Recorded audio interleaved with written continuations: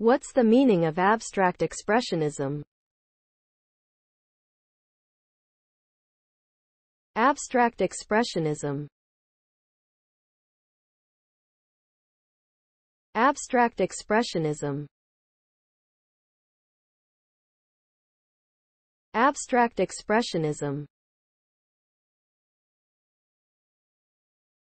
Abstract expressionism Abstract expressionism Abstract expressionism was an American post-World War II art movement in painting. Developed in New York City in the 1940s.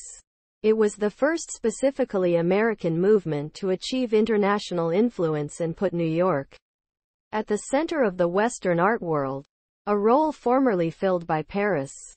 Abstract expressionism is generally characterized by energetic brushwork, the use of large canvases, and an emphasis on the artist's individual gestural expression.